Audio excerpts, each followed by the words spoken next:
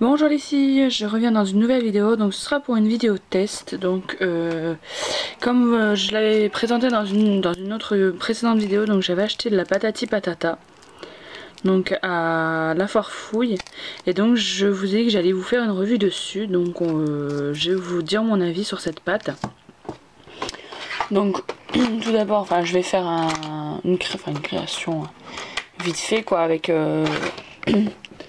avec un moule, pour, enfin sans forcément la cuire, hein, c'est juste pour pouvoir voir la texture, etc. Donc, euh, je suis en train de chercher un moule. Mettons, je vais vous faire une étoile, admettons. Hein. Donc déjà, dans un premier abord, euh, elle ne tâche pas les doigts.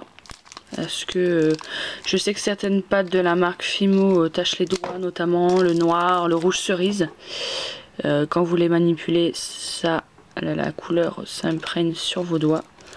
Donc elle est assez facile à couper, donc elle se présente comme ceci. Hein. Donc elle est assez, euh, assez molle. Il faut la chauffer quelques, quelques secondes dans vos mains pour qu'elle ramollisse un tout petit peu plus. Donc voilà, hein. vous voyez elle est déjà bien mou. Bien, bien bien molle, pardon.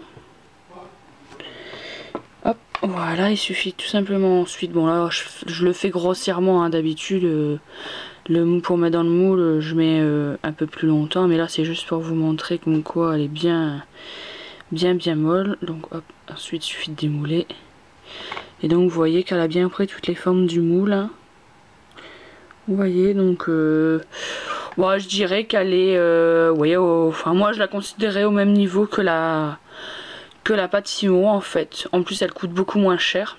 Parce que celle-là je sais plus combien j'avais payé. Dans les 1,50€ je crois. Et par contre le seul bémol que je mettrais à cette pâte c'est que euh, au niveau des couleurs bah, il n'y a pas beaucoup de choix. Euh, au niveau de la pâte Fimo il y a plusieurs teintes de rose, plusieurs teintes de violet, plusieurs teintes de bleu etc. Tandis que là je crois que la pâte patata il n'y a qu'un violet, qu'un rose, qu'un jaune etc. Donc voilà, donc la prochaine fois que je retournerai à euh, la farfouille, je vous, si j'y pense, je prendrai une photo du, présentoir de patati patata pour vous faire voir en fait, pour ceux qui ne connaissent pas, pour ceux qui connaissent forcément vous avez déjà vu toutes les sortes de pâtes qu'il y avait. Mais la prochaine fois que j'y retourne, je vous ferai une vidéo, euh, une vidéo, une photo de, euh, du présentoir tout simplement. Donc voilà, donc ouais, bah, je vous la recommande cette pâte. je la connaissais, je l'ai connue en, en regardant YouTube en fait et euh, je n'en suis pas déçue. Je trouve qu'elle est euh, aussi bien que la, la Fimo. Bon peut-être pas mieux mais aussi bien. Donc voilà.